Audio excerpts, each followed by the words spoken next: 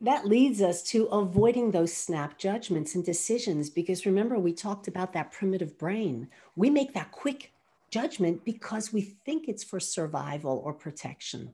Yes. and so we have to be so careful about that. And because my background is that i'm a speech and language pathologist by training i look at all aspects of communication.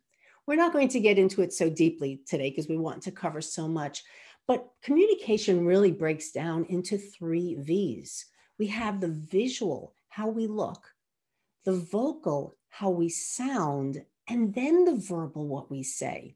So, we're going to talk about things we say and issues related to that. But first, we need to look at some of these nonverbal ways of communicating. And so, I've developed an approach of focusing on the OLE approach to communication, which means observe, listen, and only then can you truly engage. It can't be one sided. We can't just worry about what am I saying and I just say it if I don't look at the receiver and pick up the cues that I'm getting back, because we can't move forward if we're just doing a communication one way.